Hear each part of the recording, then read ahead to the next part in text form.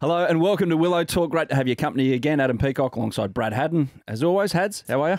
I'm excited today. Um, You're excited every episode. Mate, but- I'm really excited today because we've got a special guest. I'm a little bit nervous as well because his time's Australian selector. We we used to get hold of his card a bit, um, his Cricket Australia card at the at the bar now and then. So he, he might get me back for that, but uh, it's going to be an exciting show. Yep, the 35th, the 35th men's test captain of Australia. Greg Chappell is with us today. Greg, thank you so much for being a part of Willow Talk. And um, now's your time to retort against him putting a hole in your uh, your expenses. No, nice to be here, Adam, and always good to see Brad. Um, no, we I think we we didn't punish the card too much. I don't think we uh, went over the top. I never heard any complaints from James Sutherland or anyone else, so I think we did all right. Mate, uh, you know they talk about being a senior player. I, I think the one thing you need to know is is what people on tour have the Cricket Australia cards. then you know you're a senior player because you're going down to the bar. Well, the managers use his a lot. The coach, uh, he's too tight. Well, Buffer was too tight. He's not going to come out. You just got to know when to get the card in the bar. Then you're a senior player. Keepers, always thinking, aren't they? They're always thinking they, they were always the smart ones in a in a cricket Yeah. team, and they That's had to debatable. be pretty pretty smart. Yeah, well, it is debatable because I mean, why would you want to do it unless you you know you at least could bat? I mean, you know, not every keeper has the ability to get some runs. That, that, that's debatable. I like to move the game forward to cover up that you were scared. Before we get rolling with all our subjects, and I'll get to it in a moment, the rundown. But what was the first thing you thought of when you saw this guy? Because you had, Oh, a, no. I mean, you, I can name anyone in the last thirty years, forty years in Australian cricket from what you saw through your own eyes. What about young Bradley over here? Yeah, I mean, he, he stood out in, in a in a crowd um, because he could bat as well as keep keep wickets. Strong, um, solid, not in, in the physical sense, but solid in, in emotional and mental sense.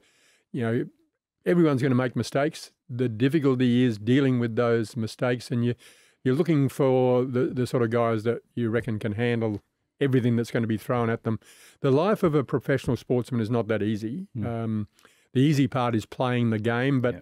the stuff that happens to you around that, you know, being uh, in a in a team sport, at least you've got some teammates around, but you're on your own a lot and you're away from your support Mm. system quite a bit. Not everyone can deal with it, and you know, so you you need not only those that can play, but those that can deal with the situation. And Brad was always someone who you, you had great confidence in could handle that. Well, his after hours activity, from what I've heard by doing this podcast with him, he, he, he found some friends, especially downstairs in the hotel lobby after a, day's play. normal, I, I was very, very lucky in my career. So Steve Rixon was, was my coach early at Yeah. New South Wales.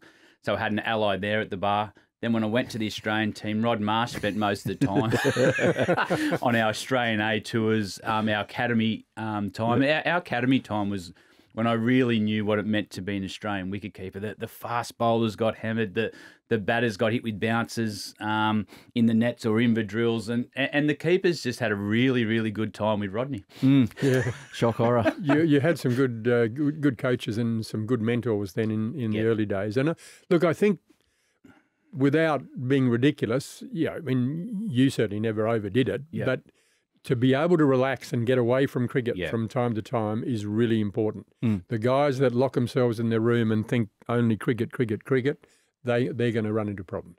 Fair enough. Dave Warner, Yeah. where he's at with his career, and obviously gearing up for a one last Test summer. But I mean, all of a sudden, he's just lit it up over there in South Africa. You surprised? I'm not surprised. What I'm surprised about is that he got away from doing what he does so well. Hmm. And what he's doing at the moment, he's looking to play shots and looking to move the game forward. That's Davy Warner. I, I saw in England, and even before that, he was trying not to get out. And when you try not to get out, even if you succeed, you don't score any runs because you don't pick off the less than bad balls. Yep. When he's looking to score runs, his feet are moving, he gets into good position to score runs, but he also gets into good positions to defend or let the ball go. Mm. And what he wasn't doing before was getting into good positions. So it it was difficult for him to defend, and he wasn't knowing which ones to let go because he didn't really know where his stumps are. So if this is the new mindset, I you know he can uh, he can be successful for quite a bit longer. Yes. Staying on David Warner, you, you were very strong when he first came in. A, a lot of Mm-hmm. people pigeonholed him. Oh no, he's a, he's a white ball cricketer, and you were one that said, no, no, no, this bloke can play all three Mm. forms of the game. What what did you see in David that others maybe didn't? Well, that the the fact that his feet were moving, he Yeah. picked up length really Yeah. well. He hit gaps. You know, he he he didn't hit the ball continually to fielders. You know, you'd see a lot of kids who look good, but they just hit ball after ball to fielders. Davey just hit gaps. Yeah. and he could hit boundaries and he could clear boundaries. He had shots all round the wicket. He was hard to bowl to, Mm.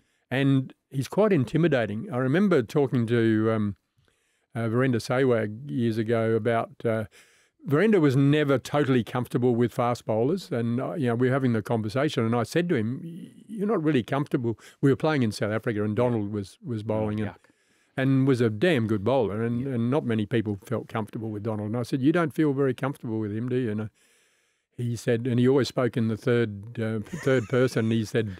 Sehwag never doesn't like fast bowlers, but fast bowlers don't like Sehwag either. And he was right. I mean, Yeah. he intimidated them because they knew if they missed their mark, Yeah.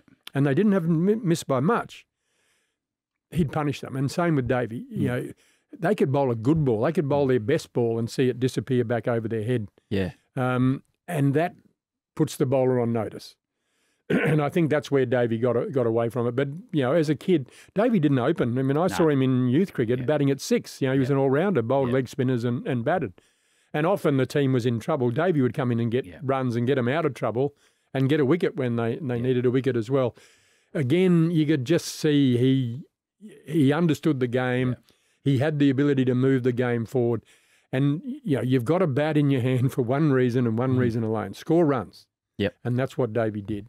The, the one thing, and I played a, a lot of my uh, junior, oh, um, s- grade cricket with Davey. Yeah. The, the one thing I liked about him, one, he was a rascal, but Mm. to me, rascals win your comps. And, and what you said just there, they'll walk into the fire. Mm. Like you'll be five for 50 and everyone go, oh, how are we going to get out of this? And Dave, you go, well, I'll get us out of it. Mm. And you go bang, bang, bang, and you'll change momentum in the game. That's the big thing I seen with Davey. It was the biggest rascal you played with. Oh, this we- we've only got an hour. there, there were a few. We we had a side of you know with a few rascals, and and Hads is right. You know, you want rascals, Yeah. but you, you, they don't want to be bad people. No. and David was never a bad person. He was a nuisance at times, and he was like a bloody mosquito or a moth, really. If there was a light on, Davey had to go and see what was going on. And if you were his roommate, he was a pest. But never in a in a bad way, and that that's what you want. I mean, you know, we had um, you know Doug Walters. Um, you know, Doug was a nuisance. He was always laying little traps and playing little tricks and things like that. But at the time when things got tight, you needed someone who was going to lighten the the atmosphere a little bit and just remind you that it's just a game Yeah, yeah. at the end of the end of the day. And I think, you know, as I say, Brad's right that you need a few rascals, and you don't want the goody two shoes. You can have a few of them, but you can't have a team full of them. You Mm. can't have a team full of rascals either. So you need players who can play. But if a few of them have got a little bit of the sense of the ridiculous, or they, you know, just want to push the boundaries a bit, Mm. they're the sort of players you want around because they're the ones that have confidence in themselves and they can see how they can make a difference. Yeah. They can see how they can make runs or take wickets no matter how tough it is. And that's what you want. Or go out at 2 a.m. and find a bourbon and coke out of nowhere, like David did on a few tours that you went. went. Someone's got to look after the young kids. exactly. we had three stints at Australian selection. Mm-hmm. Enjoyed it. Yeah, look, you know, again, there there are always challenges and, and always mistakes, and and not every decision you make pleases everybody. Yeah. Um, you know, there are there are going to be times when um, players are upset that either they're not selected or Yeah. then whatever, whatever.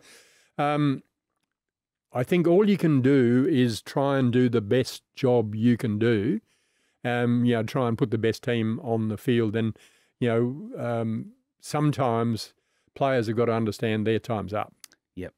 The, the interesting thing I've seen, I- I've seen selection in my time change a lot. We- We had obviously GC, you you had Rodney, uh, you had Trevor Hohns, and, and a lot of the selectors stayed away. That they stayed away from the team. They come and make make yes, this is uh, eleven, Apart from when you needed his credit card. Yeah, but that's different. Yeah. That's you- you're talking about cricket time. Yeah, yeah. and that relaxing time Yeah. GC said at the start, we all need that, otherwise our heads go. I, I see a lot with selections now Mm. that I don't know it's the modern way, and I'm not saying it's right or wrong, but they're they're involved in warm up, they're in the change room all the time. You, you see them sitting next to players during the game. I, I'm not I'm not sure whether that model works. I'm I'm not a fan. Yeah. Because I've I've seen it blow up. Yeah. Um, you, you I, look, I was lucky. I worked under you know three different uh, chairmen of selectors. You Yep. know, Laurie Sawle uh, at first Yep. from Western Australia. Laurie was very detached from the team, but having been an educator and you know in the education department, he understood young men, Yep. and you know he could read from a distance. You know what their personalities were like. He didn't need to be in the Yep. the dressing room. Trevor Hohns, you mentioned. I think you know Trevor was he did a fantastic. I really think he did a great job as uh, on two occasions as chairman, and Andrew Hilditch. And I think Andrew was w- was very good. Um, probably didn't get the credit that uh, that he deserved, really, um, because he you know he didn't like talking to the the media, and, and nobody really does. You know, it's not the part of the job that you do it for. Yeah, they have to front up, and you've got 24 million selectors in Australia. Well, You have to front up and explain that- yourself. that's Yeah. the problem, and sometimes explaining yourself can only get you into into trouble. Yeah. you know, because it doesn't make sense to someone who's on the outside. So the ones that you know when I, where I've seen it go wrong is when you know the chairman of selectors or a selector gets inside the bubble Yep. and only hears the talk inside the bubble. Yeah.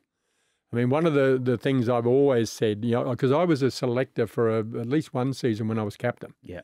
and it wasn't right Okay. because you're, you know, up until that point, they always came to you and got your Yeah. input You and then went away and, and mm. picked the team. And that was the way it should have been Yeah. because you needed to be seen at arm's length.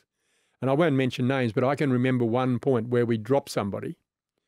I fought really hard to keep him, but I lost the argument. Yeah. And you walk out, and it's it's a universal decision, unanimous, and you know you walk out. But a few weeks later, we picked him back in the team, and I could see him looking over his shoulder, thinking, "When are you going to dud me again?" yeah. And you know, I, I mean, I, there's no point trying to explain to them that I'd argued his case, but I'd I'd lost the argument. And I, that was no good. And you know, I explained to the the cricket board at the time, look, no selector with any common sense is going to continually give the captain players he doesn't want. Yeah. There might be times when you have to say no. This is Yeah. what's best for the team, and you, you've got to put up for it, put up put up with it. But if you're continually sending the captain out there with blokes he's not happy with, it's not going to work. No. So there's got to be that balance. But that's why I always thought you needed an independent selector, at least that was arm's length from from the team, who could say, no, no, I think we've we've got to go this way. Yeah. Because if you're constantly in the dressing room and, and you're constantly having that conversation with coaches and players, you're not connected to the community. I mean, the, the thing as a selector, I found out what people thought when I went to the golf club. And you know, I would cop it from test. you know the, the, from the, the punters and saying, "Why are you picking this bloke? Why are the team doing this? Why is that going?" For Christ's sake, you know, just Let me, let- I'm here to play golf. Just leave, leave me alone. But but it was good to have that connection to get the feeling of what was going on in the community. Yeah. Yeah. yeah. And I think that was one of the problems with Sandpaper Gate. The the Yeah. players and and the and the selectors and the coaches weren't really aware that at the at that moment they were on the nose with the Australian public, and that's why the board felt they had to go the way they did with Steve and, and with Davey. And you know, it's um, you can lose track of what's going on in the real world if you're in that bubble too long. Did you ever cop the call from the? I don't know if selectors actually make the call and say this is why, or you just you cop a line through your name and you go, well, work it out for yourself. Well, well, every player has at some time. The great Ricky Ponting and guys like that, Matthew Hayden, they've all been dropped. But I, I tell you, though, sometimes when the selectors tap you, tap on the door to have the chat, you go, "Oh, thank Christ! I've been waiting for this." like, aren't they? Like sometimes you know, and you're just trying to hold on. And, and you spoke a bit about it at the start about Davey trying to survive hmm. rather than take the game on. Hmm. And, and you can feel yourself sometimes in that quicksand. Hmm. And once you get dropped, you go, oh, no, I don't like you. This is bullshit. Then he walks out the door. You go, oh, how good's that? like, off. Taking a load off. yeah, take the load off. Then you go away and you have a look at your um, your form or your technique. Is it a mindset change? Is it? Then you start to develop your game. Then you come back and you think, oh gosh, I can't believe they didn't drop me months before. But sometimes as a player, it's a relief when you get dropped. Yeah, I'm, I'm waiting for my wife to walk in sometimes and go, listen, you've been dropped. Work on your game. Come back to me in two months, and then you can yeah, re-establish yourself as part of this relationship. Anyway, hasn't happened yet. That, that's a different show. Yeah, yeah, that's that a another room, and you got to lay down and say that. It's on a different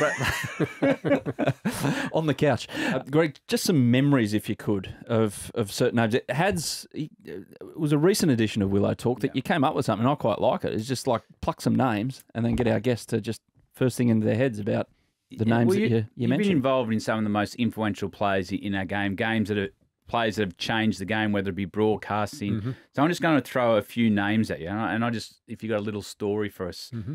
and it can, this can go anywhere. These stories they don't have to be cricket. They, you like X-rated ones, um, well, but not X-rated. but Like, we'll, we'll see. We'll have the E great next to our thing. It's like Richie getting Benno. Yeah. Yeah, he was a hero as a as a young bloke, and I mean, the, he had the collar up and had the shirt unbuttoned down to the navel. I mean, Mm. it was uh, it was almost X-rated itself. But Richie had that aura about him, you know, that uh, talk about someone not being, you know, not having a clue, but just pretending. He always looked like he knew what he was doing. and pretty much that carried on through his commentary and every uh, every other part of his life. One of the funniest days ever was in the commentary box down at Bellerive in the days when it was the old up on the Yeah, yeah. scaffolding uh, uh, down uh, you know whatever end it is. And uh, it was a it was just a domestic one day game, and Bill Lawry and Richie are commentating. And we, you know, um, the twelfth man was very popular at that stage. The twelfth man tapes and so on. So everyone knew what the twelfth man had been doing, and you know, we we every now and then we'd break into the twelfth man doing certain things, but the, chew for 220 chew never came out when Richie was around, except Bill is commentating with Richie, and Bill's in the driver's seat. Richie's sort of sitting back, relaxing, and bugger me, the score gets the two for 222. And Bill gives it the, and it's chew for 222. And then he starts laughing, you see. And Richie's just sitting back in his seat, leaning back. And you, we had those, yeah, the lip ribbon microphones that if when you weren't talking, you went to put them down. So the other guy knew that he could speak. So you didn't want people speaking over themselves. So Bill never ever put the, the microphone down. So you had to sit there and watch and wait till he stopped talking and then jump in. Anyway, so he's given it the chew for 222 and he's bloody laughing to himself. We're standing in the back of the commentary box thinking, "Geez, this, this, this might get ugly. And Richie's there just looking down his lip at him, sort of, okay, smartass, you've got yourself into this, get yourself out of it. Bill couldn't commentate for two overs, and Richie wouldn't. So there was silence for two overs. And, was, and no one was game to say a word. Just to, this is, you know, just going to have to play out. But every time Bill picked up the microphone to speak, he'd start laughing. So he'd have to, he'd have to stop. And Richie just kept looking down his lip at him and just, well, you got yourself into it, get yourself out of it. and that that was quite uh, one of the funniest days in the commentary box. Did he? Did he eventually say something? Oh, Richie? he was playing along with the joke, or was he just literally no, no. not Well, it was just yeah. Ri- Ri- Richie was of- that thing that you know you got yourself into this. Yeah. You- I'm not going to help you. Yeah. I, I'm not necessarily complaining or criticising, but you started this. You find a way to get through it. Well, but mate, not long after, there's that famous clip of Tony Greig, and they took the obligatory, you know, the, the, the TV coverage in the 80s and 90s. They'd find a beautiful woman in the crowd and take a shot, and Tony Greig couldn't help himself. He said something about it, and then there was a pause. And then Tony Greig's turned to Bill Lawry to say something, and Bill's taken Richie's advice and gone, Well, you got yourself into this, pal. You get yourself Yeah, out of it. So- Exactly. I'm not helping you. Uh, Another one, and everyone's wants to know about this man, no matter what era you played in, is the great DK Lillee. yeah.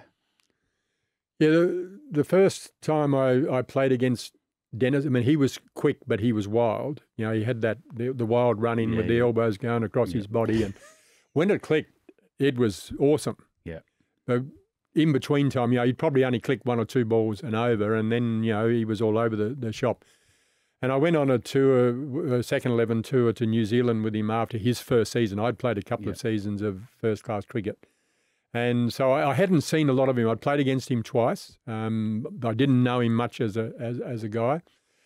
And we got over to New Zealand, and the Australian team was in South Africa on a tour at that stage. And um, so I got to know Dennis quite well over the six weeks we were in, in New Zealand. He he's a little bit younger than me, um, and very he at that stage was very naive, and we pulled a few stunts on him, and he fell for every one of them. You know, and you Such know, as? How do you how do you pull a stunt You like take, Dennis you take it to that different spot all the time. See, it's not Yeah. me as a wicketkeeper. I, I'm not sure we got long enough to tell tell this story, but basically, um, we were in, in Christchurch practicing at the start of the, the tour. So we've a couple of days we'd train in the morning, come back and have lunch at the at the hotel. And I was sitting on a table of the older players, even though I was one of the younger players, because I'd played against them for a few years, and I knew them. Graham. Um, um, Watson w- was one of them. Dave Renneberg from New South Wales was another, and um, Jeff Davies from New South Wales. I, I knew those guys well. So, and and Graeme Watson worked for the, the Carlton Breweries in in Melbourne. So at lunch at the first day, he ordered a bottle of wine, and when the waiter brings it over, he sniffs it and tastes it. Yeah, that'll be fine. And so we would go around the table, and it's my turn. You know, a couple of days later, and I buy, buy the the wine, and so the waiter comes over, and I sort of smell the wine and taste it. Yeah, that'll be fine. And sitting right behind me on the next table was Dennis Lillee, and he goes, "Oh, oh you'd be a toff, wouldn't you?" and I said, "What do you mean?" And I said, well, "He said, well, what all that stuff with the sniffing and the?" I said, "Look, I'll have you know that I used to be a, a wine taster for McWilliams Wines. Yeah. So pull your head in." So he pulled his head in. So anyway, cut a long story short, the next day I'm sitting on on his table, and he said, "But don't you work with Coca Cola?" Hmm. And I said, "Yeah, I do." But you said you were a wine taster. Yeah, I got poached to Coca Cola. I'm I'm a Coke taster now. And then you could see him sort of look at me, and he was a bit he was a bit scared to say something by this stage. And I said, "You don't think they send that the Coke out without someone tasting it, do you?" And he said, "Gee, that must be a tough job."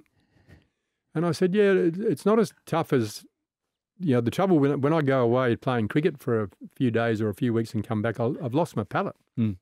and I passed a bad batch, and you know I got into a bit of strife, and they put me on the returns, and that's a really bad job, you know, where you've got to taste the. So he's taken all this in, you see, and I, and no. and then uh, you know it led to. I knew what he did. He worked with the Commonwealth Bank as a teller, and I just said to him, "Well, what do you do?" And he said, I work at the Commonwealth Bank as a teller. And mind you, I'm 21 at this stage. And I said, Oh, I used to work in the bank. And he said, Oh, really? Yeah, I worked at the Commonwealth Bank, but I got into a bit of strife. I, I sort of borrowed some of the money one day, which, um, you know, is a bit frowned upon. But luckily, the uh, my father was the bank manager and he sorted it all out. So I went to the other guy and said, Mate, I got a bloke here who believe anything we tell him. so we, we set up a real sting over about three days and we, we got him. From that day onwards, he never believed anything that anyone ever told him. So he went from the most naive to the most cynical bloke over a period of about a week. but could bowl a bit. He could, bowl a bowl, and you just want him on your mm, side. Exactly. A quick one before we go, or not so quick, don't want to pass it by, but uh, last night in Sydney, you had another Chappell Foundation uh, dinner, raised a stack of money, upwards nearly half a million dollars again. Fantastic. Uh, I don't know where you're at with overall what you've raised, but um, raising funds for awareness for youth homelessness in Australia. Um, How satisfying something like this is, yeah, is it for you? it's been really satisfying. I mean, last night was hugely successful. Again, you know, around the, the half a million. It'll take us over five million um, raised, and we support seven charities on the front line. We're not a frontline charity. We raise the money, and we give it to the people who know what to do with it. Mhm. We're we're pretty strict about you know what they're doing. We want to know what they're doing with it. We don't just give them the money and say, "Well, go and do what you like." Um, so we do talk to, with them about what they're using the money for, and so they have to convince us that you know their their request is is better than the next Yep. charity's request. Um, but know, when we started, Darshak Mehta is the chairman of the, the foundation, and Dar, Darshak I had worked with at the LBW um, Trust before before that, the Learning Bef- uh, Learning for a Better World, um, which was raising money for uh, underprivileged kids in, in cricket playing countries. But when Darshak stepped down from LBW Trust and um, you know he had a had a bit of a break, he said, "Oh, we got to do something in the Chappell name," and I said, "No, we don't." and he said, "No, you, you should. You know, we have to." And Darshak's not an easy man to say no to. So, you know, over two or three conversations, I gave up and said, okay, well, so you said, what, what, what do you think, you know, should be the, the cause? And uh, I said, well, it's got to be in Australia. It's got to be for young people. And at that stage, I was working with Cricket Australia in Melbourne and I was living at East Melbourne just with the Fitzroy Gardens as my front Yeah. lawn. And I used to go into the gardens and exercise every morning and I'd walk through the gardens to work every day. And I was appalled at how many people slept rough in the Yeah. in, Yeah. in those gardens in, in the middle of winter. And I, I saw a kid one day, a young person one day, and the profile, it could have been my youngest son. And I just thought, well, you know, there for the grace of God, That's it.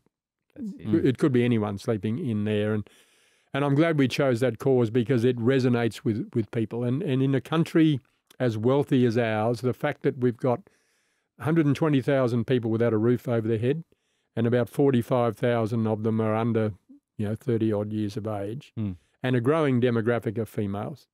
To think that a young person feels safer on the streets than going home is frightening. Yeah. Nobody really chooses to, to do it. It, it. It happens to them. Mm. And, you know, I thought when we started, if we could make the difference, you know, put one life back together, it'd be worthwhile. Mm. Thankfully, you know, we're, we're impacting positively hundreds of people every, every year. And, you know, it's, it's a big task. Uh, You know, we're a fully volunteer charity. Um, so we don't pay anyone, we don't pay any uh, rent or anything. So pretty much all the money that we raise goes to the Mm. to the cause, and that's probably the proudest thing of the whole whole lot. That um, everything we raise goes to the the cause. So uh, it's always a hell of a thing leading up to the to the annual dinner, just putting it together, and, and you know a volunteer group doing it, and and to be so successful. Yep. I mean, last night was just the the Chappell Brothers were the you know, the, the main show. I thought it'd be like the Marx Brothers, but it Mm. was probably it was probably more like the Three Stooges. But Okay. um, you know, we uh, we had a lot of fun and Good. and it was very successful. And you agreed with each other at the end? No, no, no, no. We not. we didn't agree at the start, and we don't agree at the end. But we we have a lot of fun doing it. And how can people support? Um, go on the, the Chappell Foundation website. Um, you know, we'll take money. Any any money will be uh, well received. We we did the sleep out a few weeks ago, and uh, now the the dinner's the the big function of, of the year. But yeah, look, yeah, just go onto the Chappell Foundation website and uh, donate some some money because it is going to a really good cause. Well, we're going to put the, the link in the episode notes of this particular Thank episode of Willow Talk. And um, yeah, that wraps up this edition of Willow Talk. Greg Chappell, thanks so much uh, for the chat and covered some ground there, but really appreciate your time. Pleasure, Adam. Thank you. Hads, see you next week. Been outstanding. See yous.